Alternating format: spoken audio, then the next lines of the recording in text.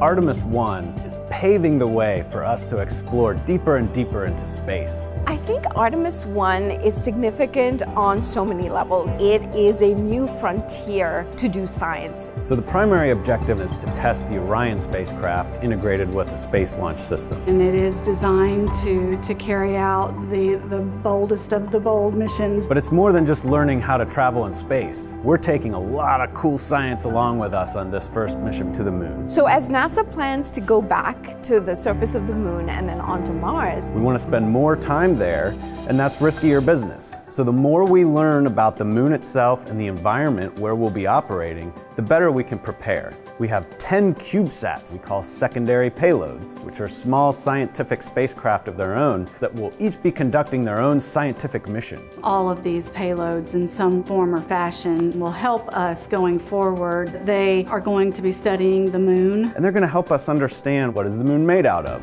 what types of rocks, what types of regolith, what types of ice? What's mixed in with water that might be present? One of them actually is going to attempt to land on the moon. They're going to be studying the sun. Understanding and studying the space environment or the space weather. Some different propulsion systems. These novel ideas will ultimately turn into the technology and the systems that we want to use going forward. There's a lot of cool things going on between all these CubeSats that make up our secondary payloads. Additionally, inside the Orion, we'll be flying an experiment to study space biology. Space biology is where we study the underlying changes that Earth-based biological systems undergo when they're in space. Or basically, how does life respond to the space environment? The level of ionizing radiation that you experience when you go beyond the Van Allen belt, so you go beyond the protective magnetic sphere that we have around us, you then get exposed to higher levels of ionizing radiation. So we are flying several space biology experiments. We will take a series of materials, plant seeds, fungi,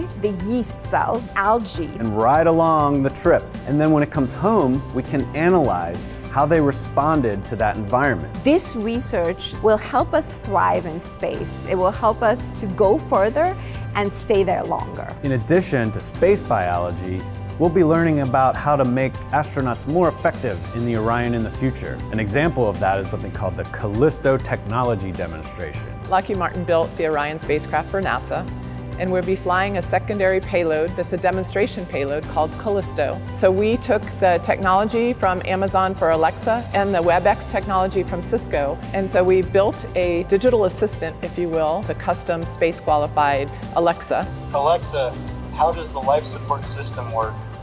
Orion's life support system is the environmental control and life support system oracles. And so this payload is a demonstration mission to show how astronauts in the future could use this technology as an innovative uh, user interface. So there you have it. I hope you agree with me. This is exciting. I am just over the moon excited for the Artemis 1 launch. The science we'll conduct on Artemis 1 lays the groundwork to ensure that we can safely conduct scientific activities at the moon with our astronauts going forward. This really is the stepping stone for us as we take that next giant leap in space exploration.